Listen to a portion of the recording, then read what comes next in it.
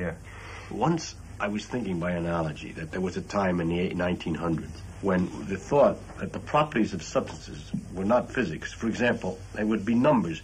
We would find a series of numbers, the index of refraction, that was physics.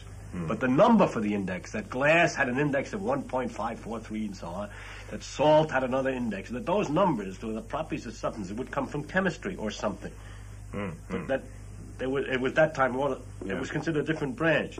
Then when the quantum mechanical understanding of the atoms was evolved, then we could calculate all these properties and we realized that all these numbers were really part of physics. Hmm, and so hmm. properties of substances became a branch of physics, whereas hmm. previously it was a sort of chemical branch.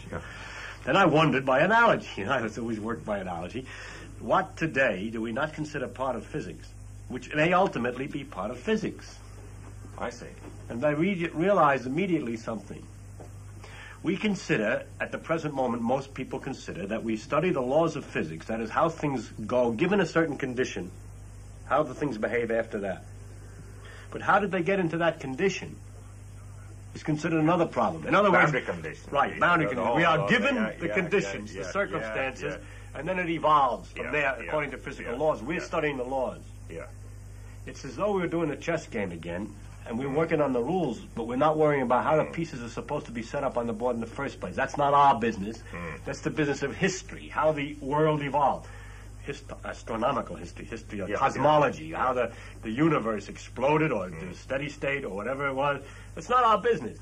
It's interesting that in many other sciences, there's a historical question, like in geology, the question how did the Earth evolve to the present hmm. condition? In uh, biology, how did the various species evolve to get to be the way they are? But the one field which has not admitted any evolutionary question is physics. Here are the Yeah, laws, yeah, we say. yeah. Here are the laws today. Yeah.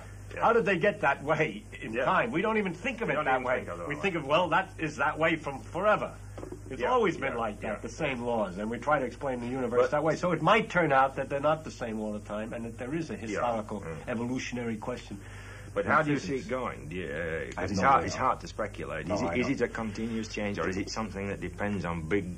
You're the Discrete, speculator. See, uh, you and I think differently. I think of the possibilities, but I'm afraid to p- to put things in. When I see oh, it's the dark, I always think of Yes. the dark Is, as uh, too big for me to guess at. You see, Yeah, Uh, to guess, yeah. it's, it's not much use in guessing particular things. But but uh, you're different, and I would like to Uh. discuss with you sometime how do you do that? Because I'm really a little afraid to make is specific is, is guesses. It your background, I don't the know. way you, you kind of grow up.